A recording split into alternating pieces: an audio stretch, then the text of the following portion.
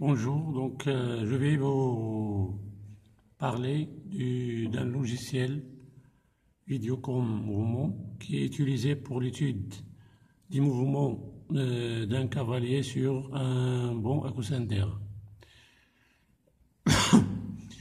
donc ce, logiciel est appelé Videocom mouvement, c'est ça son euh, logo, donc on va l'ouvrir. Euh, voilà, c'est ça la configuration de ce, de ce euh, logiciel. Euh, il est, cette configuration est composée de trois ou quatre, trois ou quatre, quatre parties. Donc, vous avez la partie d'en haut, là où il y a la barre de tâches en haut une série de fenêtres qui s'affichent l'une à la place de l'autre. Donc ici, vous avez la barre de tâches. Ce sont des fonctions qui sont euh, directement accessibles. Euh, il suffit de euh, cliquer là-dessus. Donc en dessous, vous avez ici une série de fenêtres qui s'affichent l'une à la place de l'autre. Euh, juste euh, en dessous, on a une euh, zone d'affichage analogique. Vous remarquez ici qu'il y a deux, deux. Ces aiguilles sont deux reflets. Elles correspondent à deux reflets captés par la caméra CCD qu'on utilise ici pour enregistrer le mouvement. Donc ces deux reflets sont captés, comme, je l'ai déjà dit, par la caméra Bien sûr, euh, ces deux reflets correspondent à deux lamelles qui sont fixées sur le, le cavalier. Donc, et on a, juste euh, en dessous un, une zone d'affichage numérique. On remarque ici que la lamelle S1, ou bien la, position S1, il est donné ici euh, sous forme d'un nombre, c'est-à-dire que ce reflet euh, heurte le pixel numéro 90 de la caméra CCD. La caméra CCD, c'est une barrette euh, horizontale ici, c'est-à-dire c'est un ensemble de photos éléments qui sont juxtaposés l'un à, côté de l'autre. leur euh, surface est égale à un pixel. Donc lorsque le reflet euh, de la position du cavalier heurte euh, le pixel, un pixel de la caméra, son nombre s'affiche euh, sur cette zone d'affichage numérique.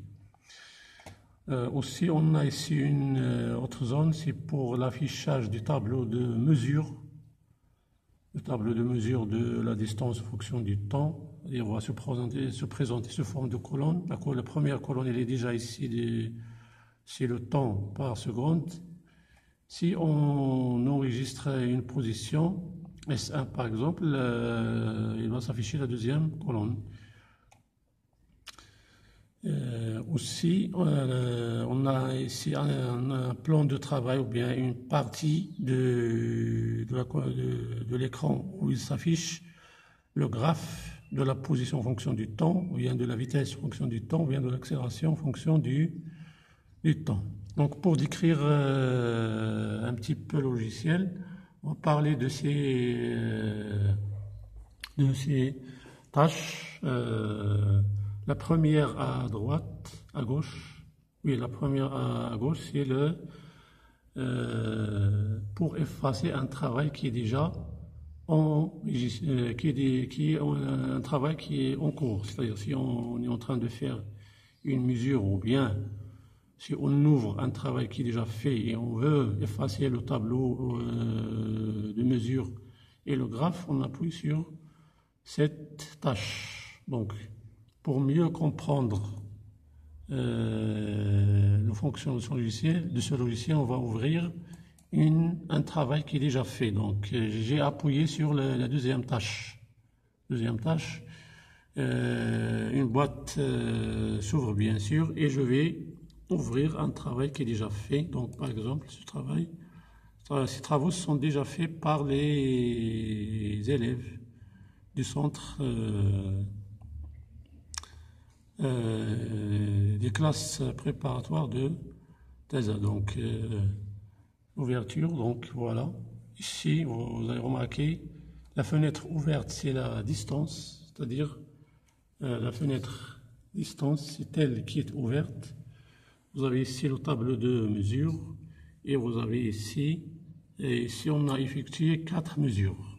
Donc, quatre mesures, vous allez voir ici, vous allez voir qu'il y a quatre, euh, cinq colonnes. Donc euh, l'une c'est le, temps et les autres ce sont les positions.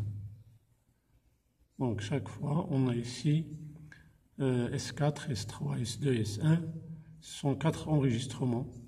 Bien sûr, euh, on a ces, ces, enregistrements sont faits pour étudier la deuxième loi de Newton. On a varié la masse du cavalier chaque fois, on varie la masse du cavalier en ajoutant une masse additionnelle de 100 grammes euh, et en enregistrant le mouvement. Donc, on a ici quatre euh, enregistrements. Et ici, les courbes de la distance fonction du temps, sont des paraboles. voilà.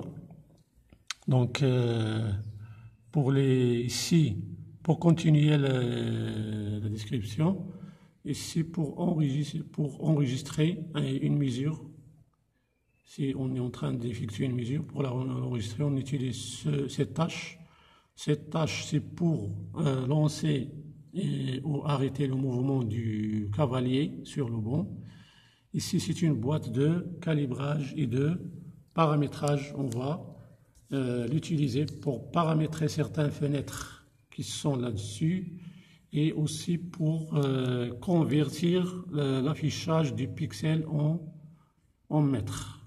On va savoir comment faire ça. Ici, la tâche suivante, c'est pour afficher les valeurs, les coordonnées d'un point de la courbe de la distance ou bien les valeurs de la vitesse et du temps d'un point de la courbe de vitesse, etc.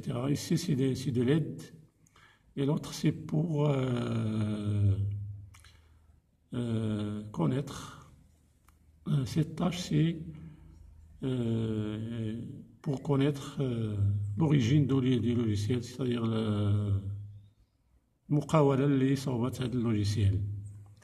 Voilà, donc pour décrire, ici on a ici en dessous, on a une série de fenêtres qui s'affichent l'une à la place de l'autre. Ici, vitesse vitesse. Donc euh, ici, vous allez voir V1, V2, V3, V4. Là, il s'affiche le tableau de mesure de la vitesse. Ici, les, courbes de vitesse, vous allez remarquer que ce sont des droites parce que le mouvement est accéléré. Euh, l'accélération, vous allez voir le tableau de mesure de l'accélération. Ici, les courbes de l'accélération sont des constantes. L'accélération est constante. Ici, formule. Formule, c'est une fenêtre pour euh, afficher le tableau de mesure euh, d'une grandeur euh, choisie, bien sûr, autre que l'accélération, la vitesse et la, position, c'est-à-dire une grandeur qui utilise ces, ces, grandeurs, les grandeurs distance ou bien vitesse ou bien accélération qui sont déjà enregistrées. Par exemple, l'énergie cinétique. Pour avoir la courbe de comment il varie l'énergie cinétique en fonction du temps, on peut euh, paramétrer cette boîte ah, ou bien cette fenêtre pour avoir le tableau de mesure et aussi le graphe de l'énergie cinétique en fonction du temps. Vous avez aussi la fenêtre Newton. Euh, la fenêtre Newton est utilisée pour euh, vérifier la deuxième loi de Newton, c'est-à-dire comment varie la, la on va tracer ici le, graphe de la masse en fonction de 1 sur A, l'inverse de l'accélération. Et on va savoir comment on va paramétrer cette euh, fenêtre. Donc la, formule, la, fenêtre, la formule et Newton doivent être paramétrées. Les autres euh, euh, affichent directement le tableau de mesure et le graphe correspondant. On a ici Fourier et un test de, test de lumière, de l'intensité. Euh, la caméra CCD ou bien ce logiciel peut être utilisé pour, en optique aussi pour l'étude des spectres de certains lampes spectrales. Donc, on ne va pas en parler. Euh, c'est ça, donc, euh, pour le calibrage et le paramétrage. Donc, on va passer maintenant au calibrage et au paramétrage. Donc, on va utiliser cette, cliquer sur cette boîte. Voilà. Euh, cette tâche, on appuie sur la tâche et on a l'ouverture d'une boîte de dialogue. Ici, il y a aussi un ensemble de boîtes de dialogue qui s'affichent l'une à la place de l'autre. Ici, spécification, linéarisation, calibrage de la distance, formule, Newton et généralité. Donc, euh, spécification, qu'est-ce que ça veut dire spécification? Spécification, c'est-à-dire spécifier le raccord. Ah non, spécification, et spécifier la date euh, delta t, c'est-à-dire le, le temps qui se coule entre deux éclairs successifs, des LED qui, qui sont des LED qui sont sur la caméra, parce que l'enregistrement, on a dit que l'enregistrement du mouvement se fait par une caméra CCD. Bien sûr, sur cette caméra, ils sont montés des LED qui émettent des, rayons lumineux à des euh, delta T égaux, c'est-à-dire euh, à une fréquence donnée. Ils émettent des éclairs à des fréquences données. Donc, le, temps entre les éclairs successifs, il est réglé de cette euh, boîte. Donc, on a ici, delta t va entre 0,25 millisecondes jusqu'à 200 millisecondes. Donc, il faut choisir le temps entre les éclairs successifs.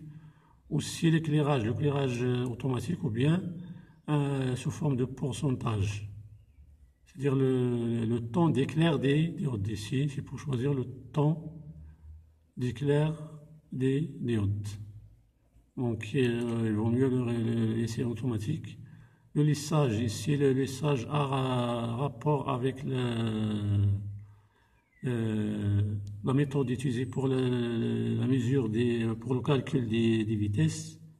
Si pour le calcul de la vitesse, on utilise la méthode d'encadrement, le logiciel utilise la méthode d'encadrement, c'est-à-dire euh, pour mesurer la vitesse à l'instant TI, euh, il faut calculer, s'il faut diviser la, distance parcourue par le mobile entre euh, TI, entre le temps TI-2 et TI plus 2, et on va le diviser par 4 delta T, on va les diviser par 4 delta t. C'est ça? Euh, le lissage. Si on choisit le lissage minimum ou bien on choisit delta t plus petite, on va avoir euh, sur le graphe de l'accélération, on va voir le graphe sous forme de dents de scie. Donc il faut bien choisir là, le lissage, il vaut mieux choisir standard pour avoir euh, une bonne courbe de. Donc c'est ça pour euh, la première partie de la boîte. La deuxième partie, on a ici, euh, on va spécifier quand est-ce que l'enregistrement va s'arrêter. On peut spécifier un temps, si on a spécifié 1,5 secondes, ou bien on peut spécifier une distance, pour choisir une distance. C'est-à-dire au bout d'un, lorsque le, cavalier a parcouru un mètre, si on, on coche euh, cette case, Lorsque le cavalier a parcouru un mètre, l'enregistrement va s'arrêter automatiquement. Sinon, le, chrono qui mesure le temps va continuer à euh, mesurer le temps. Donc, pour arrêter l'enregistrement, il faut spécifier bien le temps d'enregistrement ou bien la distance euh, au cours duquel va se faire l'enregistrement. Ici, on peut choisir marche arrêt, le poussoir marche arrêt de la caméra on peut, arrêter l'enregistrement en appuyant sur le bouton euh, marche arrêt de la caméra. Euh, la deuxième boîte, c'est la linéarisation. Si pour la linéarisation, il faut que la direction du mouvement du cavalier sur le bon et la direction de la barre CCD, il faut qu'ils soient parallèles pour qu'il y ait linéarisation, c'est-à-dire pour qu'il y ait euh, linéarisation, c'est-à-dire euh, une bonne mesure, des, un bon enregistrement des positions du mobile sur le cavalier. si les, directions du, mouvement et de la barrette sont différents, on n'aura pas euh, un bon enregistrement. Donc, parce que euh, la distance sur laquelle on enregistre est supérieure à la barrette. La barrette, c'est presque 2,8 cm de longueur, alors que le, le bon, il est presque de 1,5 m.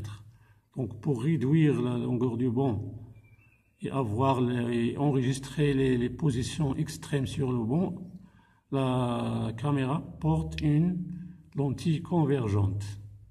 Et la barrette elle est positionnée au, foyer euh, image de l'objectif, c'est-à-dire de la lentille convergente. Donc il faut que cette euh, lentille, il faut que la, barrette et la, direction du mouvement soient parallèles. Sinon, si on connaît l'angle entre ces deux, les deux directions, on peut l'ajouter ici en degrés, ou bien euh, il faut connaître la distorsion de l'objectif, la distorsion de l'objectif euh, parce que s'il n'y a pas ce, parallélisme, on aura des aberrations, des aberrations en Barrier et en cosiné. pour euh, remédier à ce problème, on peut enregistrer deux positions, euh, on peut enregistrer la position de deux reflets à une distance, qui ont une distance constante sur le, le cavalier et on va corriger le, problème de linéarisation. On va, et on va corriger le, le problème de linéarisation. Euh, aussi, en, en, passant à la troisième boîte, donc cette troisième calibrage de la distance, c'est elle qu'on utilise pour convertir les positions en pixels euh, en position en mètres. C'est-à-dire il faut fixer sur le cavalier deux, lamelles réflectrices, euh, connaissant bien, bien la position entre les deux, et en utilisant l'affichage numérique dont on a déjà parlé, euh, on va saisir les positions des deux lamelles euh, sur euh, position 1 et, position, et première position et deuxième position. Donc on va choisir 0 pour la première position et la distance entre les deux pour la deuxième position. Et on va cliquer sur relever les pixels de l'affichage. Parce que, mais il faut que les deux reflets apparaissent sur, le, euh, sur la zone d'affichage analogique. Donc je vais sortir de cette boîte vous montrer ça et vous revenir à distance. Voilà, vous avez ici euh, les deux reflets. On a ici deux reflets. Euh, ces deux reflets euh, ont une distance entre eux connue. Donc on va et les donc si on efface ici une, deuxième efface, vous allez voir, on a effacé le, travail qu'on a déjà euh, qu'on a ouvert et aussi on a effacé le réglage parce que lorsqu'on enregistre le, travail ou bien une mesure qu'on est en train de faire, on enregistre aussi cette transformation de pixels en mètres. Si on clique deux fois sur effacer, on efface tout, on efface le, les mesures qui sont déjà faites et aussi le réglage.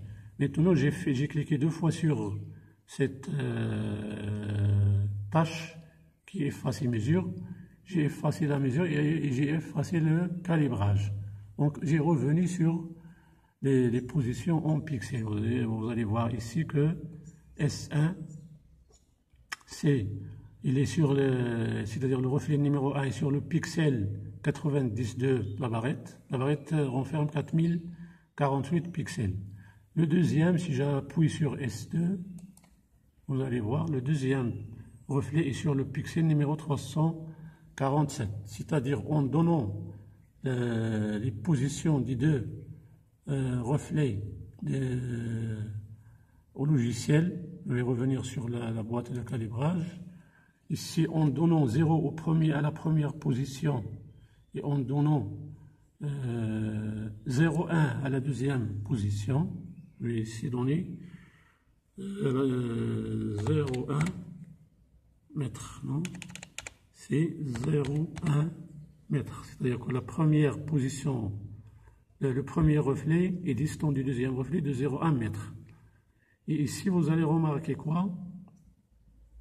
Euh, Que et je vais demander au logiciel de relever les pixels de l'affichage. Ici, vous avez S1, euh, c'est 80, le, pixel 90, et sur le pixel 90, et le deuxième est sur le pixel 347. Lorsque j'appuie sur relever les pixels de l'affichage, vous allez remarquer qu'il a relevé, bien sûr, les deux les, positions en pixels. Ici, 90 pour le premier et 347 pour le deuxième. Donc, lorsque j'ai fait ça, je vais appuyer sur le bouton OK pour que le logiciel fait le changement de variable ou bien le changement de, euh, position. Vous allez voir ici que maintenant la position est affichée en mètres. Le premier, il est en position 0. Vous voyez ici, c'est un 0, 0, 0 mètre. Et le deuxième, il est sur la position 0,1 mètre. Donc, c'est ça le, calibrage. Donc, je vais revenir sur cette boîte. Le calibrage, donc, euh, c'est ça. Donc, on a fait le calibrage. Inverser les positions. Euh, euh, les, deux, les deux lamelles ici, ou bien les deux aiguilles qu'on a ici sur la zone d'affichage, analogiques sont à l'extrémité droite, extrémité gauche. Donc si je veux qu'il soit à la position gauche, je dois appuyer sur inverser les positions. Inverser positions. Donc euh, normalement, ils doivent passer à l'autre. Euh, inverser les positions. Ok. Non, ils n'ont pas passé à. Donc euh, l'essentiel, c'est que le, rôle de cette euh, de inverser les positions, c'est de renverser l'ordre des positions du mobile sur le euh, sur le, chariot, sur le, bon à coussin d'air. Donc euh, là, on a terminé le calibrage de la distance. Formule, on va passer au au calibrage de la boîte ou bien de la fenêtre, euh, la boîte de dialogue formule. Euh, ici, on, peut, on a dit qu'on peut euh, choisir certaines grandeurs pour afficher leur tableau de mesure et leur graphe. Ces grandeurs ont recours à, aux trois grandeurs enregistrées, c'est-à-dire la distance, la vitesse et l'accélération. Ici, on peut on peut avoir, euh, on peut euh, mesurer par exemple, ou bien avoir le graphe de l'énergie cinétique. Donc la grandeur, on va noter son nom, grandeur énergie cinétique, symbole EC, unité joule par exemple, et la formule, on doit noter, on doit donner la formule, euh, 1 demi m fois v au carré. Bien sûr, m, il faut écrire la valeur de la masse du cavalier, et la vitesse, il faut spécifier V1, V2 bien V3 euh, au carré. 1 demi MV1 au carré. Ici, il faut, euh, pour graduer l'axe des temps, ou bien l'axe des abscisses, va, il faut choisir le minimum et le maximum. Euh, le, minimum, c'est bien sûr 0 et le maximum, c'est le, le maximum du, ici, c'est le maximum du du tableau d'affichage du, plan de travail, là où il s'affiche, là où il s'affiche euh, le graphe. Voilà. Newton, c'est ça, euh, la fenêtre Newton, il est utilisée pour la vérification de la deuxième loi de Newton. C'est-à-dire, euh, pour vérifier la deuxième loi de Newton, il faut, varier la masse du cavalier ou bien il faut varier la force accélératrice. On ne peut pas les varier euh, les deux, on peut, peut pas varier les deux à la fois. Donc pour varier la, masse accélératrice, si on varie la masse accélératrice et on garde la force accélératrice constante, on peut tracer le graphe de la masse m en fonction de 1 sur a. Donc il faut cocher ici la masse m, représentation en fonction de 1 sur a. Ça y est, OK. OK, on va remarquer ici que la fenêtre vous avez remarqué que la fenêtre s'ouvre ici. Vous avez ici, le tableau de, là où s'affiche le tableau de mesure, on a A et on a M en kilogrammes.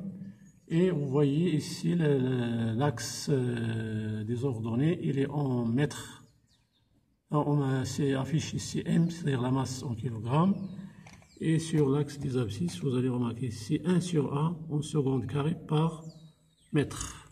Donc, il suffit aussi ici de saisir les valeurs de l'accélération et les valeurs de la masse et il va s'afficher le graphe de m en fonction de 1 sur a. Et pour connaître, pour vérifier la loi, il faut modéliser, c'est-à-dire trouver l'équation de la droite et pour euh, déterminer euh, la pente. La pente, c'est la force accélératrice. Voilà donc, euh, on va revenir sur notre boîte calibrage de la distance. On est arrivé à Newton. On va passer maintenant à généralité. Généralité, c'est choisir le raccord qui va lier la, caméra CCD à l'ordinateur. Actualiser Videocom. Si le logiciel est ancien, euh, pour l'actualiser, on appuie sur Actualiser Videocom. Et aussi, il faut choisir la langue ici et enregistrer une nouvelles spécifications, c'est-à-dire euh, la position pour euh, l'enregistrement le long d'une durée ou bien le long d'une distance. On peut enregistrer ces spécifications. Ok, donc on va sortir. Maintenant, je vais ouvrir un travail qui est déjà fait pour parler des exploitations possibles on va ouvrir un travail qui est déjà fait. Euh, voilà, j'ai appuyé sur le bouton ici, euh, la deuxième tâche. Ici, la, boîte qui s'ouvre ici. Travail doit être enregistré avant l'effacement. Donc, euh, on va dire non. Donc, et, et s'ouvre une autre boîte de dialogue. Je vais choisir le et ici, il y a un ensemble de mesures qui sont faites par les élèves du centre euh, du, des classes préparatoires euh, à 13 ans. Donc, euh, on va ouvrir celui-là. Oui, ouvrir. Voilà, on, a déjà, on l'a déjà ouvert.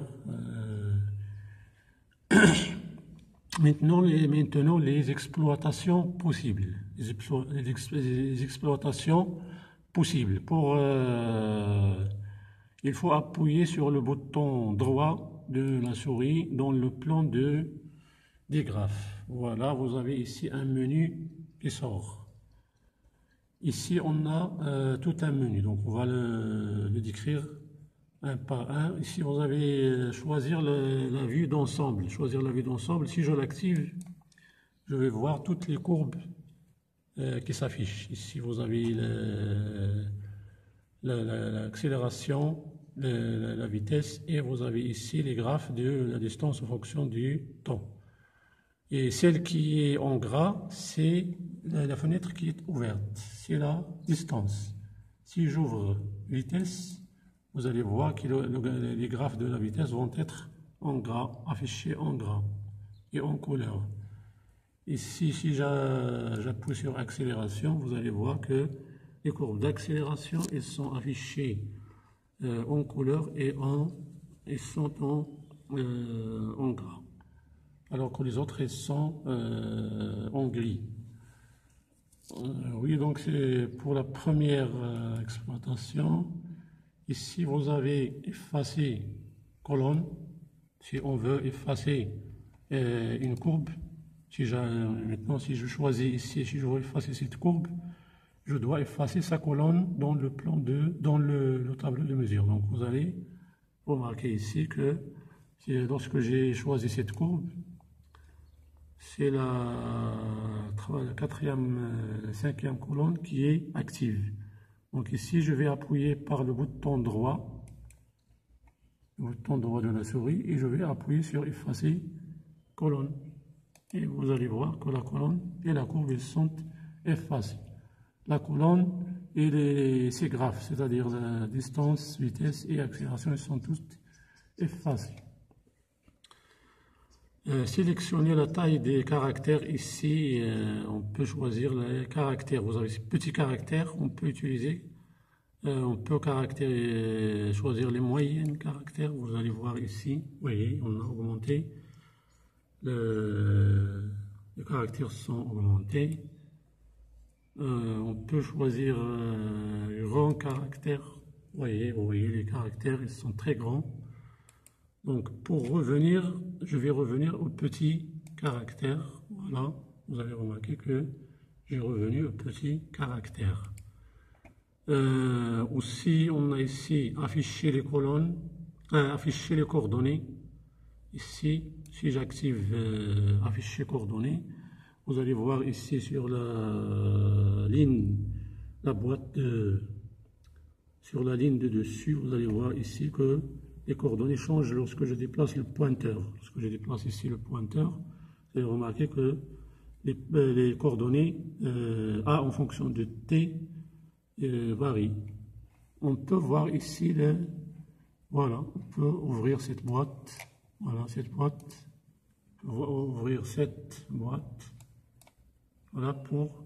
Voilà, vous voyez que les, les coordonnées s'affichent dans cette c'est une euh, boîte d'affichage des coordonnées ou bien des, équations des courbes, etc.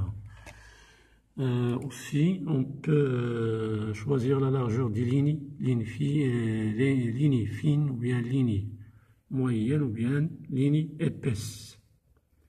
Donc si je choisis lignes épaisses, vous voyez où sont les lignes, ils sont très épaisses. Donc je vais revenir aux lignes, aux lignes fines Ensuite, toujours j'appuie sur le bouton droit de la souris et je me déplace dans le menu, afficher les valeurs, afficher les valeurs, choisir la largeur des lignes, afficher les valeurs. Donc voilà, euh, les points de mesure sont affichés. Avant, il n'y a pas, on n'a pas affiché les points de mesure. Ici, on a affiché les points de mesure. En activant afficher, l'échelle, on peut afficher l'échelle en haut à gauche ou bien en bas à gauche. Ici, il est affiché en bas à gauche. On peut le changer en, haut à gauche. Oui, faire le, afficher le, le quadrillage. Le quadrillage, on peut afficher ou bien ne pas afficher le quadrillage. Voilà, maintenant on n'a pas de quadrillage. Je vais revenir à afficher le quadrillage. Voilà, le quadrillage maintenant il est affiché. Ensuite, on peut euh, zoom, zoomer une partie de la courbe. Par exemple, si je reviens à la distance ici, distance, distance, voilà, les courbes distance sont euh, activées. Ici, si je choisis afficher les lignes de jonction, euh, afficher les, euh, les valeurs, donc afficher les lignes de jonction. Avant ça, il faut afficher, les lignes de jonction. Si je appuie sur afficher les lignes de jonction, j'ai désactivé cette, cette euh, fonction. On n'a pas des lignes de jonction entre les points de mesure. Je vais revenir sur ça. afficher les lignes de jonction. Voilà, elles sont affichées. afficher l'échelle le quadrillage, etc. J'ai parlé de ça, le zoom. Le zoom, si je veux, zoomer une partie de la courbe, il faut la, sélectionner. Donc j'appuie maintenant sur le bouton gauche de la souris. Je choisis une partie de la courbe et vous voyez, il est zoomé. Donc, il est zoomé. Donc, je peux revenir, revenir pour revenir, j'appuie une autre fois sur euh, quoi? J'appuie sur euh, zoom arrêter zoom. J'appuie sur arrêter zoom. Vous voyez que le zoom est arrêté. Euh, ensuite, euh, vous avez ici placer une marque si on veut écrire un texte, ou bien placer une ligne verticale ou horizontale, ou bien mesurer une différence, mesurer la différence entre deux, euh, points. Mesurer la, donc on va utiliser écrire un texte, on peut écrire un texte à notre choix sur le, plan de travail, le déplacer là où on veut. On peut placer une ligne verticale là où on veut, et aussi la ligne, une ligne horizontale on peut mesurer la distance entre une distance, si on peut mesurer une distance. Voilà, vous allez remarquer que la distance, il est, il est donné ici. La différence, il nous a donné là la différence entre les, le temps des deux positions et la, position, la différence entre les deux positions. Voilà. Euh, on, veut, on peut aussi, euh, la valeur moyenne, on peut utiliser la valeur moyenne. Donc ici, on peut utiliser la valeur moyenne pour, la, pour calculer, pour mesurer l'accélération. Donc je vais revenir sur la boîte accélération. Je vais revenir sur la boîte accélération et je vais euh, cliquer sur le bouton droit de la souris. Je vais choisir ici euh, valeur moyenne et je vais sélectionner la partie de, la courbe. Vous voyez la, la, couleur de la courbe change et voilà, il nous a donné la valeur moyenne. C'est ça la valeur moyenne et son, son, incertitude. 0,38. L'accélération est égale à 0,38 euh, par seconde carré, plus ou moins une valeur voilà, pour la valeur moyenne, on peut euh, parler de la fonction de modélisation, fonction de, la modélisation. Ici, pour modéliser une courbe, c'est-à-dire donner l'équation, trouver l'équation d'une courbe. Si on a droite de régression, si la droite est affine, une droite passant par l'origine, si c'est une droite qui passe par l'origine, une parabole, dans notre cas, la distance en fonction du temps, c'est une parabole ou bien une hyperbole, ou bien une enveloppe. Donc on va utiliser, on va euh, ouvrir la boîte, euh, ou bien la fenêtre distance, et on va faire la, modélisation d'une des courbes. Donc ici, la fonction de modélisation, on va choisir ici parabole, et on va choisir la partie de la courbe à modéliser. Vous voyez que sa couleur change, donc je vais, c'est ça, et voilà, voici l'équation de la courbe. Ici, vous avez l'équation de la courbe entre parenthèses, ax carré plus b fois x plus c, et les constantes, elles sont données ici, a, b et c. On peut écrire euh, l'équation de cette courbe en utilisant en euh, marque, en utilisant euh, placer une marque. En utilisant placer une marque texte, on peut écrire l'équation euh, de cette euh, parabole sur le plan de travail. calcul intégral, il peut calculer la surface d'une R entre l'axe des abscisses et entre une partie de la courbe. Donc il faut tout simplement choisir les, les, bornes de cette R c'est-à-dire entre, deux, entre deux instants donnés, donc calcul. Donc si je choisis l'aire de cette partie, vous voyez, il va me calculer l'aire de cette partie. Il est donné ici, c'est 0,0138 mètres fois seconde. Voilà, on peut ici calcul intégral, on a déjà parlé, calcul de Fourier, donc on est ici euh, fenêtre Fourier. On va pas l'utiliser. Supprimer la dernière exploitation. Donc, euh, si je veux supprimer la dernière exploitation, la dernière, exploitation que j'ai fait ici, c'est le calcul intégral. Si j'appuie sur supprimer, il a supprimé la dernière euh, exploitation. Ici aussi, copier le tableau. Si on veut copier le tableau, le tableau à l'application Word, ou bien copier, le graphe, ou bien copier la fenêtre. Donc, euh, on est arrivé à terminer les exploitations qui peuvent être utilisées. Donc c'est ça en gros pour utiliser le logiciel. Euh, je crois que je vous ai donné le minimum sur ce logiciel et merci de m'avoir